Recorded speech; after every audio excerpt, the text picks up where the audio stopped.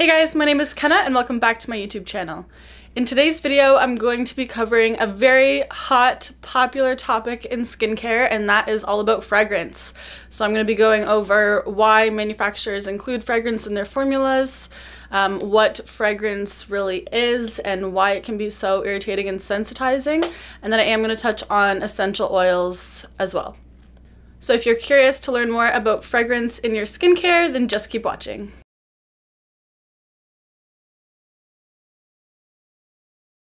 Okay, so let's just dive right into fragrance. So why do manufacturers include fragrance in a formulation? Well, there is really strong ties between our sen sense of smell and memory.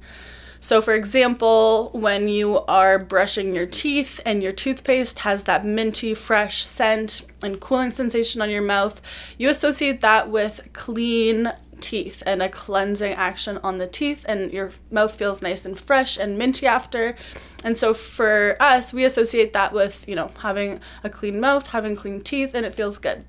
Same thing for, you know, if I've got a cleanser that smells like, I'm just gonna throw this out there, like grapefruit, for example, and I use that every single morning, and, you know, I'm used to that scent, and I think it wakes me up. And so I associate this pleasant scent with some type of action like cleansing or moisturizing or whatever it is. And it really creates an experience for the consumer. And this is really important because often that's a big part of why people go back to a certain skincare product um, because they really like that whole experience of application and using that product. Another reason why manufacturers might include fragrance is to kind of disguise and mask some unpleasant smells that could be in the formulation. Um, there's a lot of different ingredients and chemicals that don't have the nicest smell. Like, for example, if you've ever smelt the CeraVe cleanser, I don't think that anyone would say that it smells good, um, but it is fragrance free, so you really are just smelling the formulation. A lot of companies try and mask and hide that more unpleasant smell so that the consumer has a nice experience while using the product. Another reason why a manufacturer might include fragrance is to differentiate products. So if I've got a body lotion and then I put it out in five different scents, well, that is going to kind of diversify my line without creating a new product, and each scent will appeal to a different target market. So I've all of a sudden just expanded my customer base and expanded my product line by just simply changing the scent. So it is also a marketing and sales strategy as well. Okay, so now I'm just gonna dive into why fragrance is not regarded as something that should be in skincare at all, and why a lot of brands and companies and manufacturers are going fragrance free, why a lot of consumers are going fragrance free, and kind of just what's up with that. So, fragrance or perfume as a skincare ingredient does not have to list and disclose the actual components of that ingredient because it's considered a proprietary or trade secret raw material from whatever manufacturer is making that fragrance. So, fragrance or perfume can actually be composed of hundreds, sometimes thousands of different compounds to actually make up that scent. And generally, it's composed of actual volatile compounds that do make up the scent, the fragrance. Uh, it'll include solvents, carriers, fixatives, preservatives antioxidants sometimes, and then also masking ingredients. So, masking ingredients essentially they're used to kind of hide what that chemical makeup is of the perfume. So, if I was a manufacturer trying to reverse engineer someone else's fragrance, when I run that on a mass spec to analyze it, I'm not going to be able to tell what compounds are actually present because they've also put in masking compounds that have the same chemical profile and will hide whatever is in there. So it's kind of like just securing your formulation by making sure no one can reverse engineer and replicate it. And that's why fragrance and perfume can be really, really complex. So the fact that we don't know what makes up that ingredient, there's a lot of opportunity for people to be sensitive, have allergies, or just yeah, have some type of reaction on the skin. And often these ingredients, such as the volatile compounds that actually make up the fragrance, those can be sensitizing and irritating. The solvents can be sensitizing and irritating. The fixatives, the masking agents, all of those components individually could be irritating on the skin.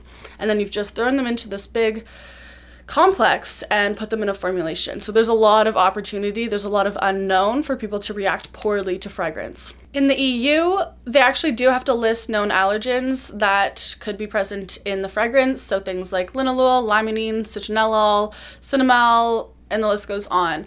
So if you ever do see those compounds at the end of an ingredients list, it's because they are present in the aroma or perfume and they have to be disclosed because they're known allergens. All right, let's just touch on essential oils really quick. I'm really just going to be talking about essential oils as fragrance components in skincare.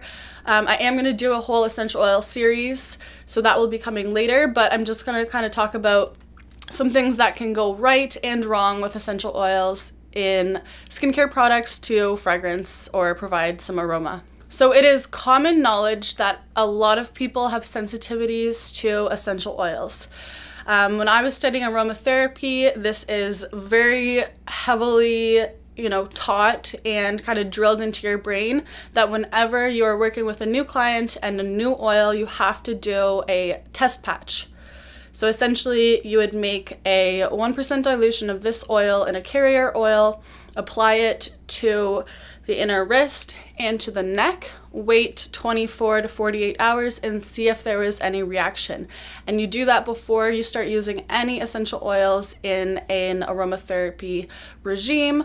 So this is very well known and aromatherapists and people that work with essential oils absolutely do know this. There are a lot of essential oils that tend to be a lot more allergenic than others. For example, lavender, the citrus oils, a lot of the herb oils, so things like mint, basil, rosemary, sage, a lot of those tend to be used quite heavily in skincare products and tend to be the most allergenic. Some of the least allergenic essential oils would be those heavier uh, resins such as frankincense, myrrh, patchouli, amberwood. So there's a big difference between different kinds of essential oils, but of course, everybody is different. Everyone could have a different reaction. That's why if you do use any products with essential oils, it is so important to do a test patch first. Another thing that can go on with essential oils is adulteration. So, essential oils are extremely high value compounds and raw materials, and it takes a lot of plant material to produce a very small amount of essential oils. And what this does for the supply and demand kind of aspect of raw material sourcing of essential oils is there's often a higher demand than the actual supply of that oil. So, what manufacturers are forced to do, or they feel forced to do, is to actually cut that pure essential oil with something else to stretch it and make it go farther. Now, often those other ingredients that are used to cut and stretch essential oils are not disclosed, and these are sold as 100% pure essential oils. So this is a huge issue because now you have something that says it is a pure essential oil, but it is cut with, you know, one to a hundred different compounds to make that ingredient go further. Now, with the rise in popularity of essential oils and aromatherapy, this is just happening more and more and more. Every month, and every year there's so many more adulteration reports that come out that is just happening all across the board. Some really heavily adulterated oils are lavender, tea tree, rosemary, rose, patchouli, just kind of like the popular ones to be honest. Like yeah, the citrus ones are often adulterated as well. So orange, lime, lemon, grapefruit, these are very often adulterated as well. And that is a huge issue because all of a sudden you have no idea what makes up the chemical composition of that pure essential oil product because it's no longer pure. Something else that can happen with essential oils, and this is the biggest reason for developing a sensitivity over time. Essential oils are extremely prone to oxidation, and over time, they basically break down into their oxidation products or breakdown products um, because they're exposed to oxygen or UV radiation. And those breakdown products are often extremely, extremely sensitizing. So if I have a skincare product that has, just throwing this out there, it has lavender oil in it, and I've been using it for about six months. Now all of a sudden I start to develop a rash when I'm using this product It could be because I'm just developing a sensitivity to lavender, but more often than not, it's because that lavender oil in my product has oxidized and is breaking down into extremely sensitizing ingredients. Some essential oils take a really long time to produce these breakdown products. So that would be the resins that I mentioned before, such as sandalwood, frankincense, amberwood, patchouli. You can have a bottle of patchouli for like 15 plus years and it actually just gets better over time. With citrus oils, even an unopened citrus oil bottle, that will only stay good for about a year until it's broken down into its oxidative products, and that could be extremely sensitized when used on the skin. So in my skincare line, I definitely started out my line using a natural fragrance oil composed of amberwood, vanilla, and Hawaiian ginger. Now, over the two years of having my formulations out on the market, there was no issues related to sensitivity caused by these essential oils. And there's a reason why I chose these oils because they have little to no ability to be sensitizing to, to people and they have a very slow oxidation rate so it'll take them years and years and years to go bad in the formula. But because you guys gave me a lot of feedback and your feedback is so important to me and i want to ensure that you guys are able to use my products if possible. So I've actually removed fragrance out of the entire line and it is completely fragrance free at this point. The reason why I wanted to keep it in originally is because honestly it just smells so good and the feedback that I have from my consumers is that they love the scent and they love how it wakes them up in the morning and they love, you know, how it wears and just everything about the scent. So that's why when I was originally relaunching the line, I did keep it in. But based on your feedback, I think it's it is really important to be accommodating to those that have had issues with fragrance in the past. So the Altillas Beauty product line is now completely fragrance free, thanks to you guys. So I think that's awesome. I think it's really cool that I do have a, you know, it is a small company and I have the ability to take your feedback and really make changes quickly so that we can just all be in this together and enjoy skincare products that we can all use. So some of you were asking me about fragrance for the body versus the face. Uh, the skin on your face is a lot thinner and it is a lot more sensitive. So a lot of people find they can use absolutely no fragrance on the face, but they can actually use it on their body. Again, I think that the biggest thing to just be wary of is if a product has fragrance in it, just always do a patch test first. Apply a small amount to the inner wrist, a little bit to the neck, wait 24 to 48 hours, see if you have any kind of reaction. And then in addition, if your products do contain essential oils, just ensure that if they are uh, citrus oils or those more herbaceous oils such as lavender, rosemary, tea tree, etc., uh, that you're using the product up quickly because they just can break down and oxidize into those very, very sensitizing ingredients. I think while a lot of people do have issues with fragrance because they have sensitive skin, or even if you don't have sensitive skin, um, there is a lot of people that will never have this issue in their life, they'll never struggle with fragrance. So everybody's just different, and I think it's important to not bash either side. Like if someone likes to use a very heavily fragranced product, just let them do their thing. If you like to use fragrance free, then that's good for you. I think we don't need to have judgment on others for what kind of skincare products they're using and try and convince them that this is bad or that's bad or or whatever. I think it is really important though that if you do work in a public place or you're out in public, you're at the mall, you're on the bus, you're in public transit or whatever, just be very cautious of what kind of products that you're using that are fragranced because so many people are really sensitive. For example, if I get into an elevator with someone that's wearing perfume, I will immediately start sneezing and I'll be sneezing and stuffed up for the next like two hours.